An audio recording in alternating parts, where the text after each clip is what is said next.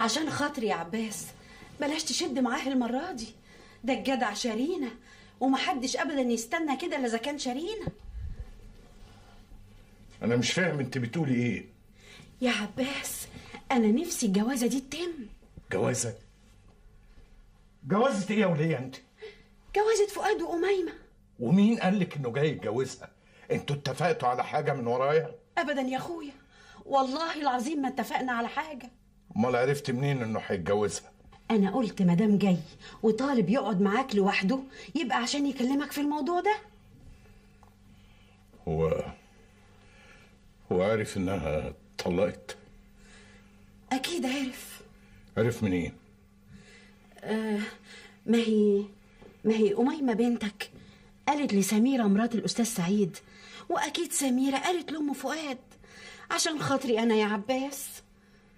طيب طيب. طيب إيه؟ اللي فيه الخير يعمله ربنا.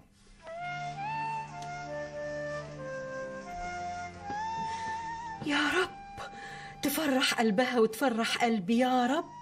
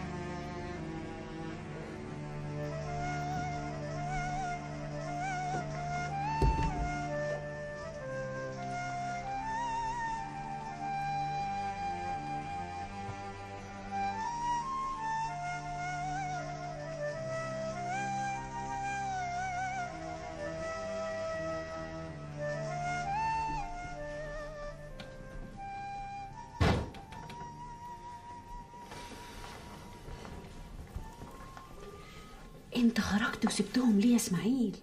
فؤاد عايز يتكلم مع بابا لوحدهم. طيب انت شايف إيه؟ في إيه؟ يعني تفتكر صاحبك جاي يقابل أبوك ليه؟ انت أدرى يا أم إسماعيل.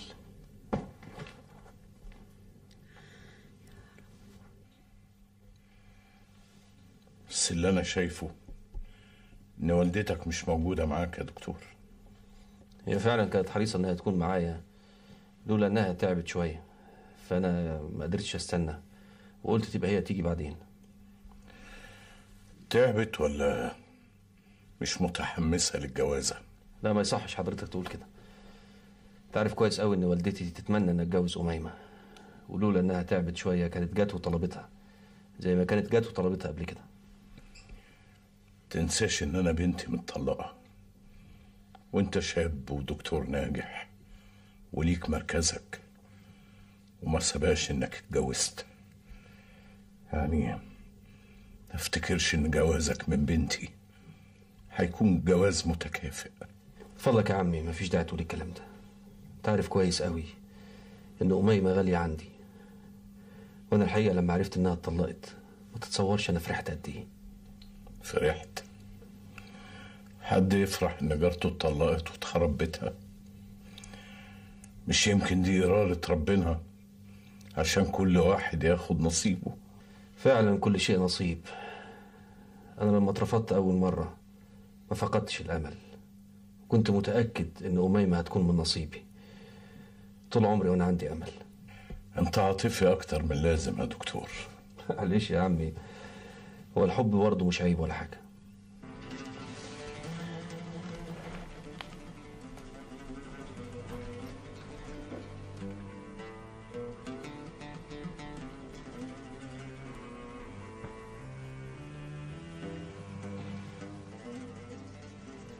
أنت خدت رأي أميمة ولا اعتمدت على رأيها اللي كان قبل ما تتجوز وتسافر؟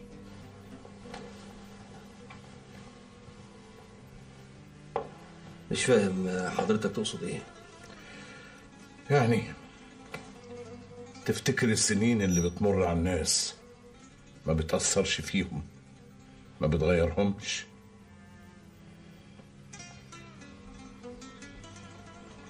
لا أنا ما أظنش لحد دلوقتي إن أميمة غيرت رأيها. جايز تكون غير كده. حضرتك اتكلمت معاها؟ لا ده مجرد افتراض. ده أنا متأكد إن أميمة ما عندهاش مانع. تبقاش مندفع يا دكتور. أنا مش عاوزك تتصدم. لا إن شاء الله ما في صدمة ولا حاجة. أنا متأكد من مشاعر أميمة ناحيتي بالرغم إن كل شيء اتغير. كل شيء اتغير إزاي يعني؟ يعني أنت ما بقتش نفس الشاب وهي ما بقتش نفس البنت. معلش يا ابني أنا مش عاوز أكون قاسي عليك.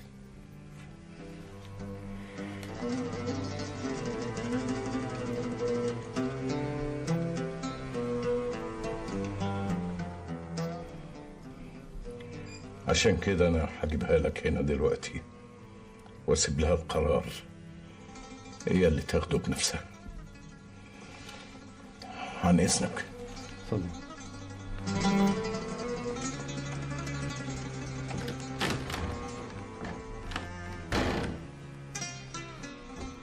أميمة أميمة.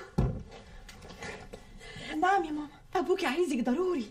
فؤاد طلبك منه ومستني رأيك أ- أيوه يا ماما بس أنا مش عارفة هقول له إيه. لا بصي يا حبيبتي المواضيع دي لازم تقولي فيها كل حاجة بصراحة. قولي له على كل اللي أنت عايزاه وخلي توكلك على الله. يلا امال بسرعة وضبي شعرك وغيري هدومك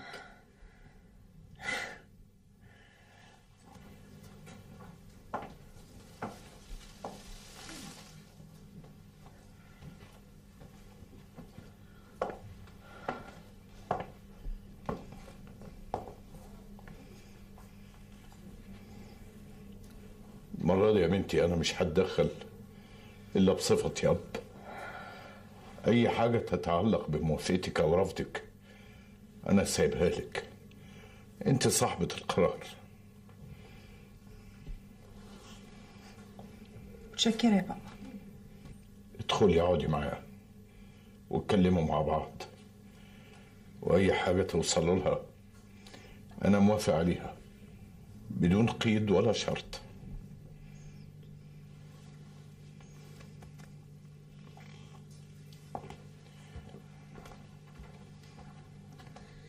يا رب قدم اللي فيه الخير.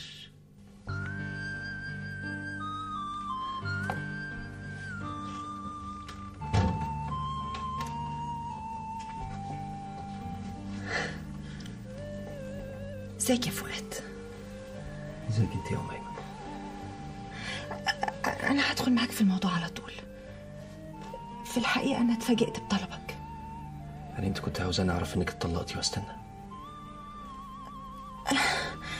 لازم تفكر كويس خصوصا بعد الظروف الجديدة اللي حصلت. ظروفي يا أميمة؟ أنا مفيش أي حاجة في الدنيا تمنعني ان أتجوزك إلا حاجة واحدة بس. إيه؟ هي إنك يعني تكوني مش موافقة. فؤاد أنت لسه بتحبني زي زمان. أنت بتقولي إيه يا حبيبتي؟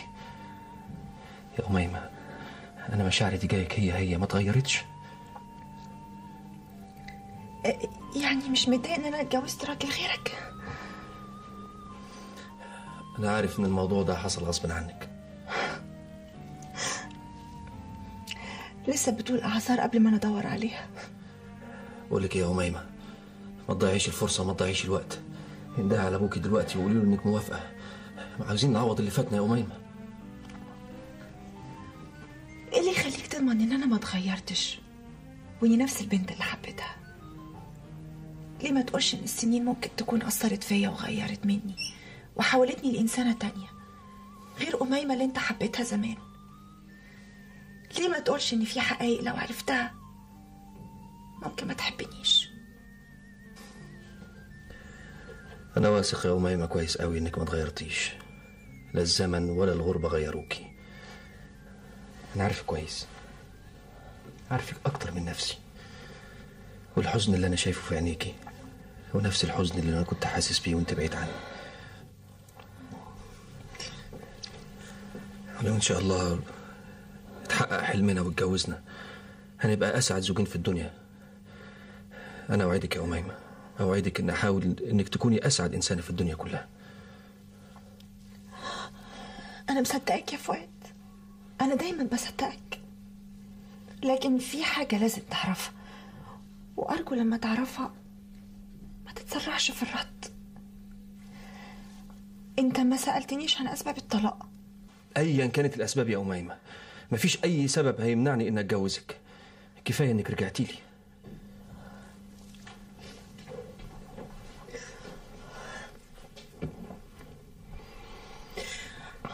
حتى لو قلت لك إني إني ما بخلفش.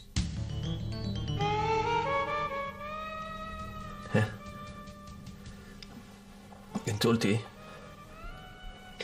هي دي الحقيقة.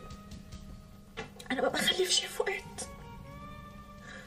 وكل الدكاترة أجمعوا إن مفيش أمل في الخلفة. إيه الكلام يا أميمة اللي أنت بتقوليه ده؟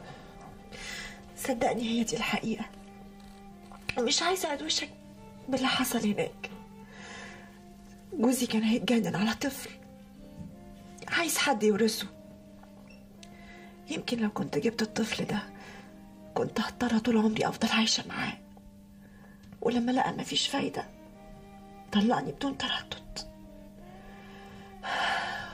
ويمكن كانت دي الحسنة الوحيدة إني ما بخلفش.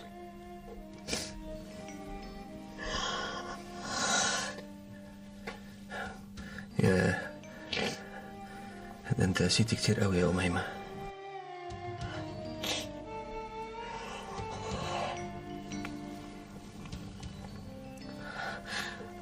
أظن بقى بعد كل اللي أنت سمعته ده أكيد هتغير رأيك. مفيش داعي تتسرع في الحكم وفي الرد. أنت إنسان ممتاز وتلاقي أحسن مني. مش عايزة أظلمك معايا يا فؤاد.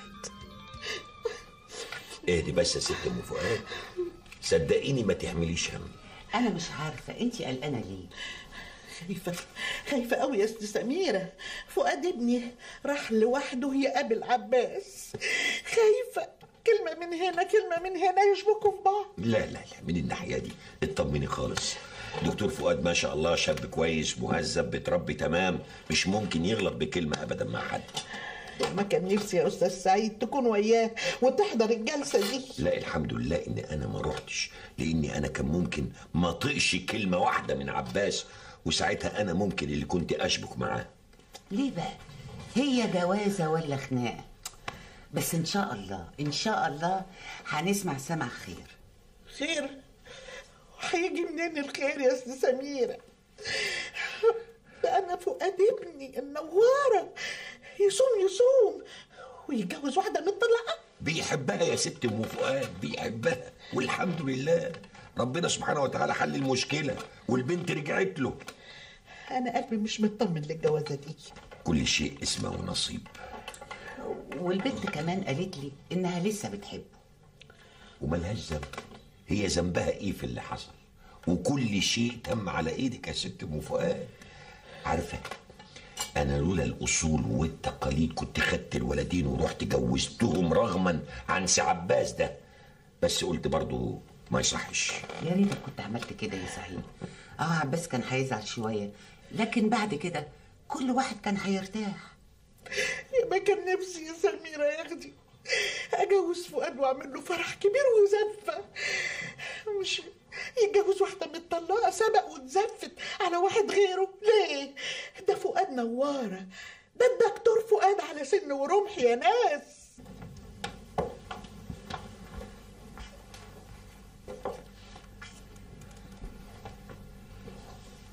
أنست وشرفت يا دكتور. شكرا. أوي مع السلامة يا فؤاد. الله يسلمك. فؤاد. نحب المرة الجاية نشوف والدتك معاك.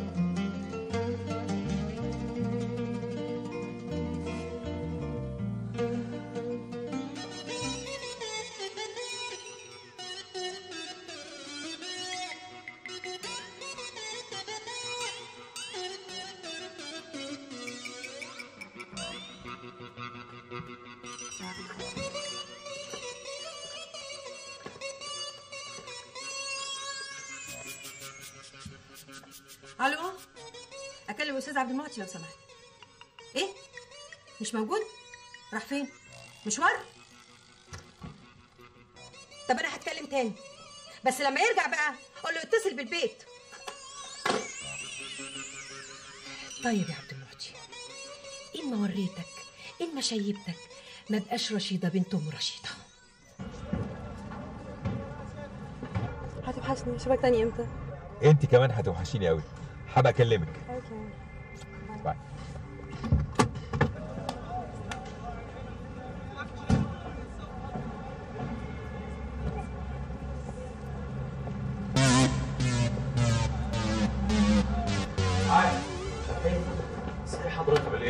الحمد لله كله تمام وجهزنا كل الطلبيات طبعا الحمد لله. جابوا كل حاجة عايزينها كلها زي ما حضرتك قلت بالظبط مين اللي نازل معاه بالعربية دلوقتي. دي مين؟ قولي قولي دلوقتي حالا مين؟ ولا حاجة حالا بعدين مين؟ بعدين. مين؟ خالص البيت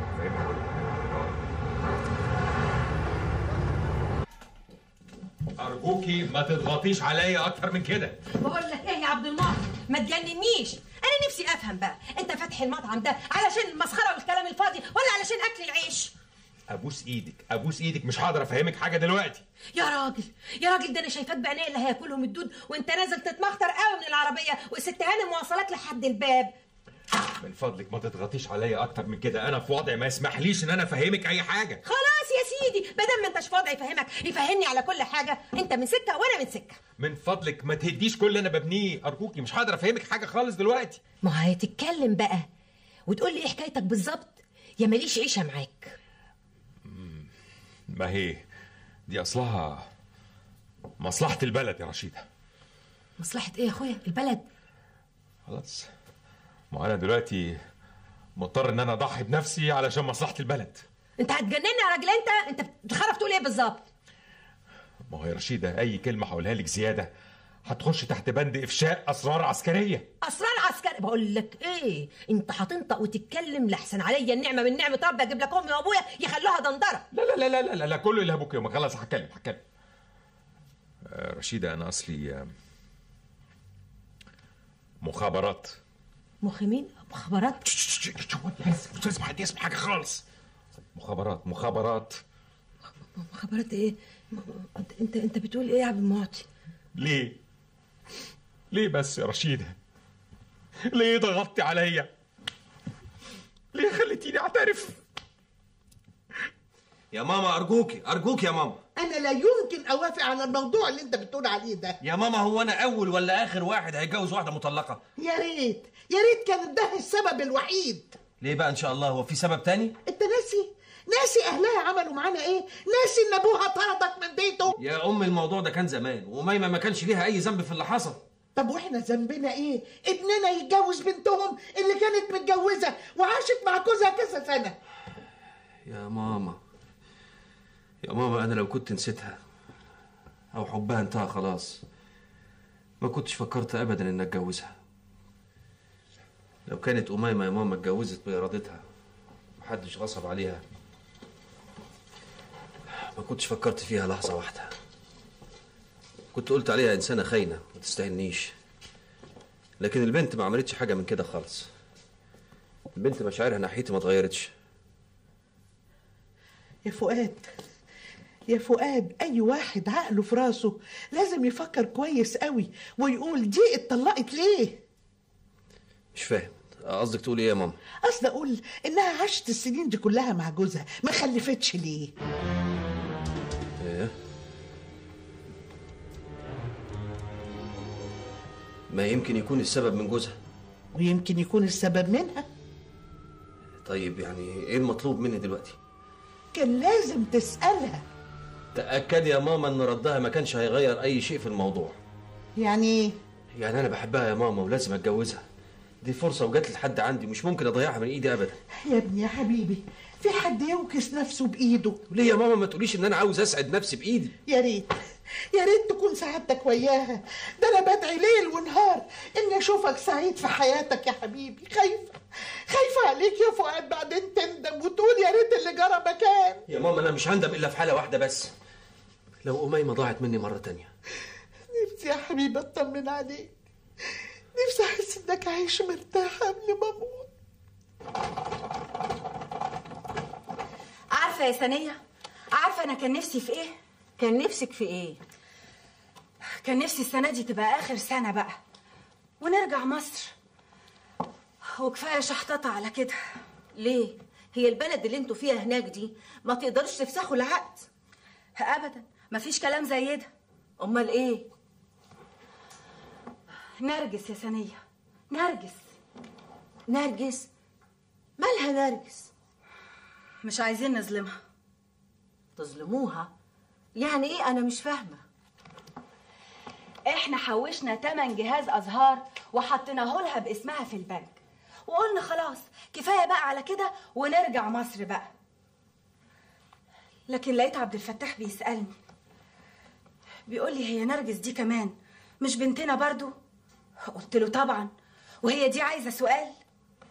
قال لي خلاص. يبقى هي كمان لازم نحوش لها تمن الجهاز بتاعها ونحطه لها باسمها في البنك. وإلا كده نبقى نحس إن إحنا ظلمناها يعني. ولا أنت أنت إيه رأيك يا سنية؟ بصراحة يا سناء أنا شايفة يعني إن عبد الفتاح عنده حق في اللي بيقوله ده. زي ما أنتوا حوشتوا الأزهار لازم كمان نرجس تاخد حقها. أنا برضو قلت كده مع إن يعني أنا صعبان عليا شقة عبد الفتاح وعايزاه يرجع ويستريح بقى. بصراحة عبد الفتاح ده بيصعب عليا قوي. يا سلام! يعني أنا اللي ما بصعبش عليكي؟ ما أنا أروح لطفحه كوتة معاه هناك. ربنا يقويكم يا حبيبتي. يا حبيبتي يا سنيه ربنا ما يحرمنيش منك ابدا. تصدقي أنا عمري ما هنسى معروفك معايا ده. معروف؟ معروف إيه؟ المعروف إيه؟ إزاي بقى يا سنيه هو أنا حد ربالي عيالي غيرك أنتي؟ عيالك؟ دول عيالي أنا كمان. بقوا حتة مني. فاهمة يعني إيه؟ عيالي. أهلا أهلا يا معلم. ده أنت منور. أنت قمر يا معلم قمر. وايه الحلاوة دي يا عم؟ ها؟ أما قصة شعرك تجنن. لا ما ما, ما. مش قصدي يا معلم مش قصدي. ما أنا شايفك قدامي طبعا زي القمر. مع السلامة يا معلم.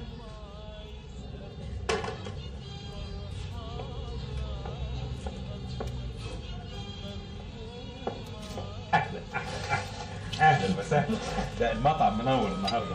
منور بوجودك. إيه الحلاوة دي؟ إن شاء الله الأكل يكون عاجب حضرتك. ما أنا قلت لك قبل كده إنه زي القمر. بس حضرتك يعني كل مرة لازم تيجي يبقى معاكي ضيوف. تيجي مرة لوحدك. هيحصل. اعمل لك اكل سبيشال هيحصل. إن شاء الله. يا متر يا متر متر.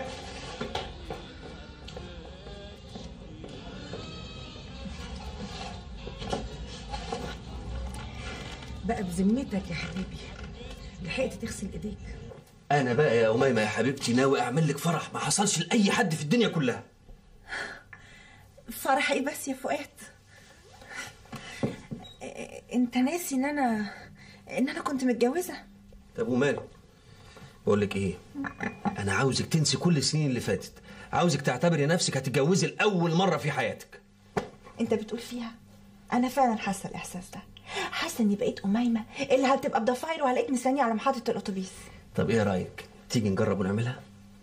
نعمل إيه؟ عاوزك بكرة الصبح تلبسي مريالة المدرسة وتستنيني قدام محطة الأتوبيس. لا بقى انت عايز الناس تضحك علينا. مش بتقولي إن هو ده إحساسك؟ ده إحساسي أنا لكن الناس مش حاسة إن ده إحساسي. إحنا مالنا ومال الناس. بقول لك إيه لو كل واحد خاف من الناس وعمل لهم اعتبار ما حدش هيعمل أي حاجة في حياته تسعده بقول لك إيه يا فؤاد. أنت موافق إن أنا أكمل تعليمي؟ قبل الجواز ولا بعد الجواز؟ بص عليك أنت بتتريق. يا أميمة يا حبيبتي أنا مستعد أعمل أي حاجة في الدنيا تتصوريها علشان بس أساعدك. ألف مبروك يا دكتور فؤاد. الله يبارك فيك يا أستاذ سعيد. ألف ألف مبروك يا فؤاد. الله يبارك فيك يا فندم. الحقيقة أنا طبعا بعتبركم عيلتي. علشان كده أنا بستأذن حضرتك يا أستاذ سعيد في إن مدام سميرة تطلع لماما تحاول تهديها شوية. بس خلي بالك يا دكتور. لازم والدتك تعرف الحقيقة دي. إن أميمة ما بتخلفش. ما يا أستاذ سعيد. أنت عارف ماما أنا بالنسبة لها ابنها الوحيد. وهتتضايق قوي من حكاية زي دي. تأكد إن أنت من ساعة ما هتتجوز مامتك هتفضل تسألك ما بتخلفش ليه ما بتخلفش ليه. بعدين هي مش هتتضايق وبس هتحس إن أنت ضحكت عليها وحرمتها إنها تشوف أحفادها. الصراحة يا دكتور فؤاد في المسائل اللي زي دي شديدة الأهمية عشان أنت ترتاح بعد كده. الحقيقة أنا زي ما كان عندي أمل إن أميمة تتطلق وأتجوزها. أنا برضو عندي أمل أمل كبير قوي في إنها تخلف. رحمة ربنا واسعة قوي وكرمه كبير. الناس ما لغاية معقولة بنات حلوة إزاي كده المطعم كله اللي تحت أمركم. حالا هجيب لكم كل اللي أنتوا عايزينه.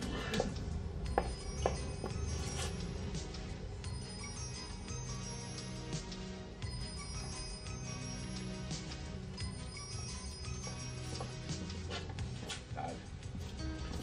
هو ده طلب الهانم؟ أيوه يا فندم. هي طلبت إيه بالظبط؟ هي طلبت سمك بس أنا بقى فهمت لوحدي وهقدم لها تورلي. برافو عليك. هو أنت كده فهمت ال system بتاع ال restaurant أنا هزودك ثلاث أيام. ها؟ يلا. ميرسي. اتفضلي يا هاني إيه ده؟ اولا أنا طالبة سمك.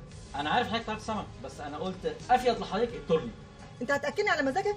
روح رجعه. في إيه؟ في إيه تعالى في إيه؟ في إيه؟ طيب. في إيه يا هاني اولا أنا طالبة سمك وهو عايز يأكلني على مزاجه. طب بعدين معاك أنت. أنت هتبوظ المطعم بالشكل ده. يا جدع. لازم تسمع كلام الضيوف اتفضل اتفضل. مخصوم منك ثلاث أيام. لا لا لا لا, لا خلاص خلاص لا سمك خلاص. ميرسي يا فندم. ادي الهاني اتفضل اتفضل. يا سلام. أنا في الحقيقة مش عارف اشكر حضرتك إزاي. حضرتك عارفة الراجل ده فاتح بيت وعنده أولاد. كان بيته هيتخرب دلوقتي. لولا لطف حضرتك وظرف حضرتك. في الحقيقة ربنا يخليكي لينا. ربنا يخليكي لخدمة المجتمع. ربنا يخليكي لمصر.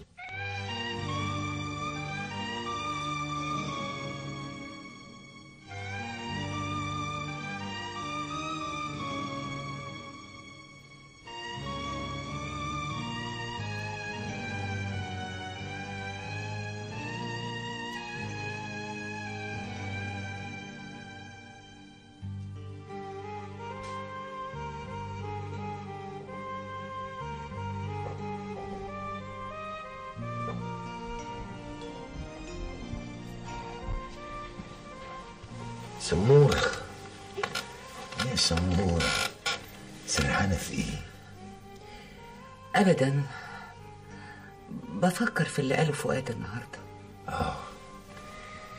كل الكلام اللي قاله فؤاد أنا شخصيا مقتنع بيه. ولو كنت سألتيني عن رأيي كنت هقول لك نفس الكلام. بس أنا مش عايزاه يمر باللي إحنا شفناه يا سعيد. شوفي فؤاد بيحب أميمة. الاتنين بيحبوا بعض وهو ده الشيء المهم.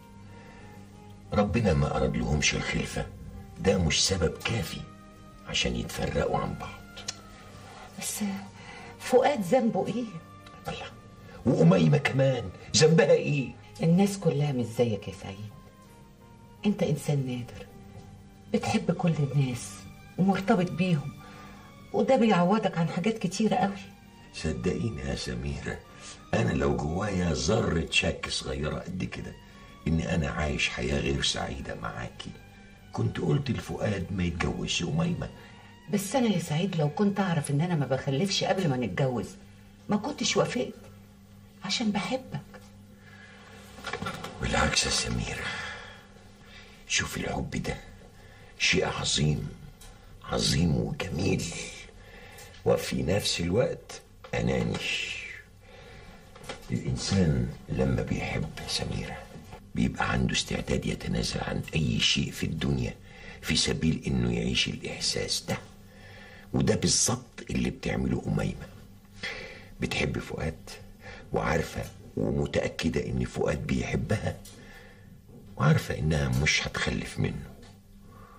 ومع ذلك حبها ده أقوى من أي شيء. بس ده يا سعيد ممكن يتغير بعد سنة ولا اتنين من الجواز.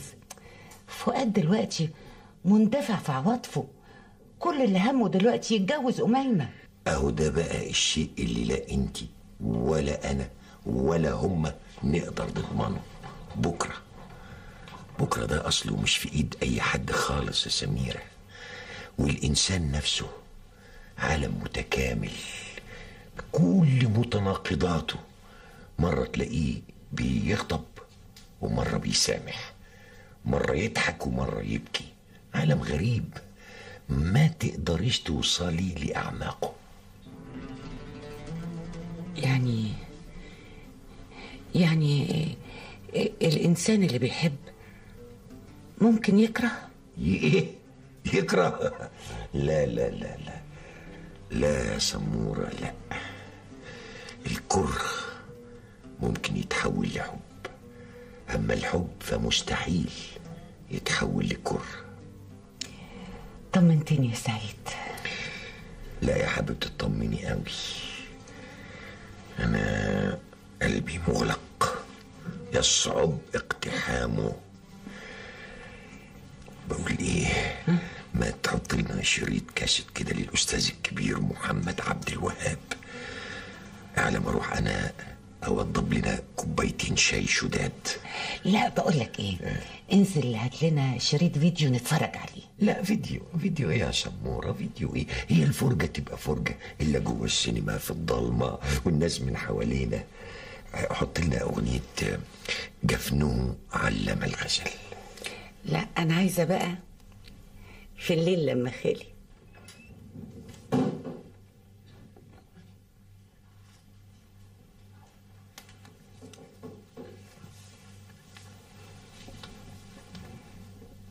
أميمة أنت نايمة؟ لا يا بابا عارفة الجواب ده من مين؟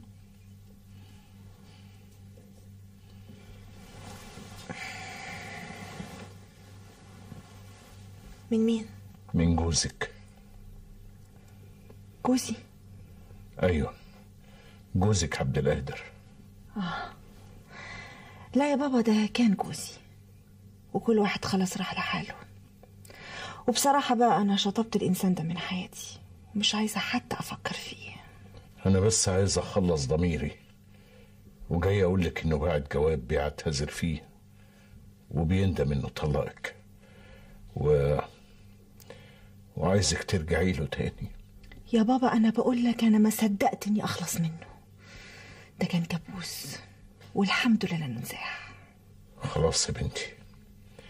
دي حياتك وانت حرة فيها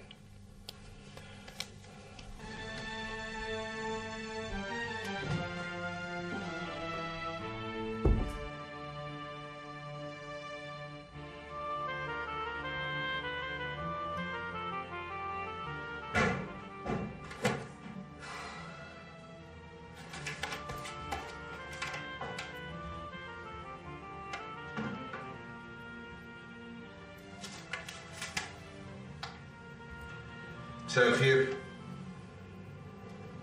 مساء النور. امم إيه أخبارك؟ الحمد لله كويسة وإيه أخبار العشاء؟ حالا هجهزهولك. وإيه كتب والكشاكيل دي دي كتب الثانوية العامة.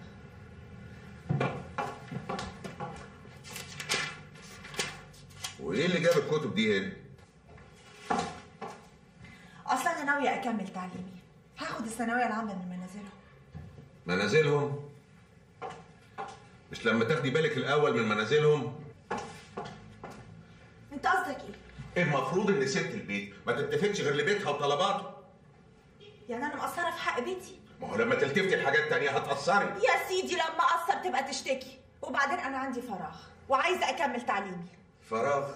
فراغ إيه ده بقى؟ يا عبد القادر أنا قاعدة طول الليل والنهار لوحدي في البيت. الله هو أنا مش مالي عليك البيت ولا إيه؟ أنا ما قلتش كده. بس أنت طول النهار في الشغل ولما بترجع بعد الظهر بتنام لك ساعتين بعد كده بتنزل تسهر مع أصحابك وما بترجعش غير الفجر. الوقت ده كله أنا المفروض أعمل فيه إيه؟ عجايب. اللي يسمع كلامك ده يقول إنك عايشة في سجن. بصراحة بقى من غير ما تزعل مني. أنا فعلا حاسة إني عايشة في سجن. إيه رأيك بقى إنك ست مفترية وما وش نعمة؟ أنا؟ أنا مش وش نعمه لأنك عايشة في وضع تحسدك عليه أي ست. وضع ما كنتيش تحلمي بيه يا هانم.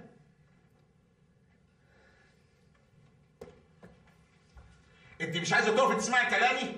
كلامي مش عاجبك ولا بيت مش قد المقام؟ مش أنت عايز تتعشى؟ أنا بقى بجهز لك العشاء. تعالي هنا. كده أهو. طيب.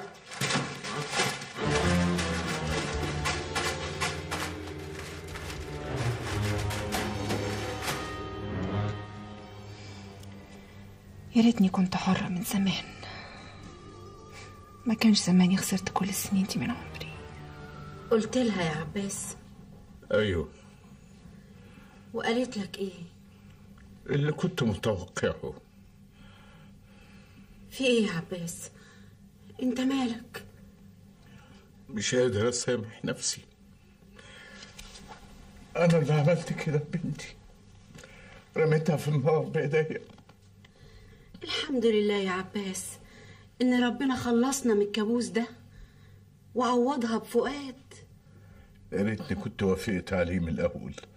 خلاص بقى يا عباس ادعي أنت ربنا إنه يوفق بنتك. مش قادر ابص في عينيها. يا أخويا بكرة ربنا يعوضها. إزاي؟ إزاي بس يا عيلة؟ أنت عارفة كل حاجة. ربنا كبير يا عباس. ونعم بالله.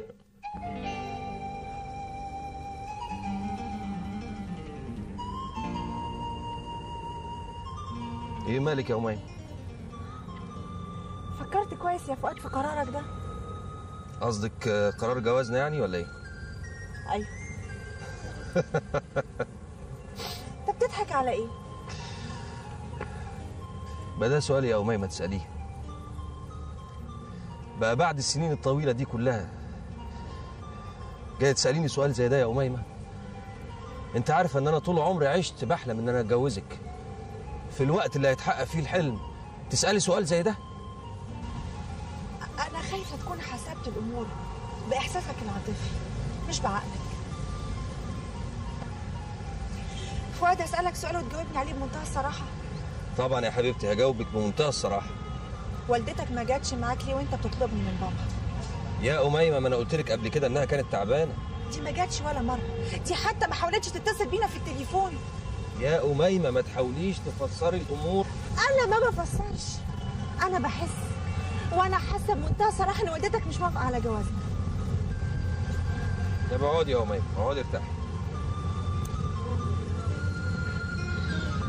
يا فؤاد أنا عذراها أي أم؟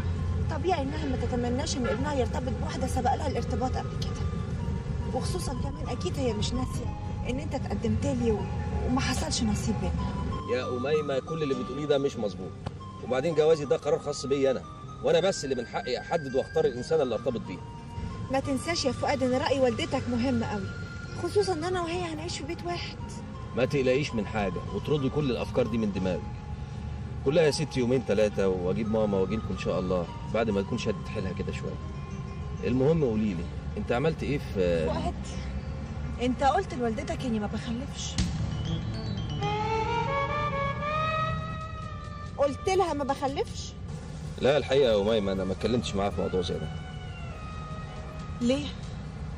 يعني شايف إنه ملوش لزوم أفتح معاها موضوع زي ده يعني. ولا عشان أنت متأكد إنها مش هتوافق.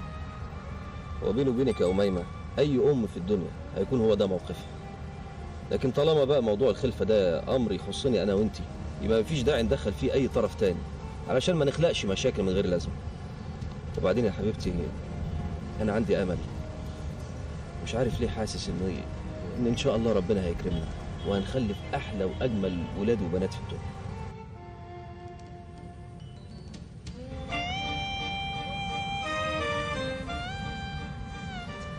يلا بقى اضحكي. وريني ابتسامتك الحلوة. كل اللي بتمناه من ربنا إني أسعدك زي ما أنت بتسعدني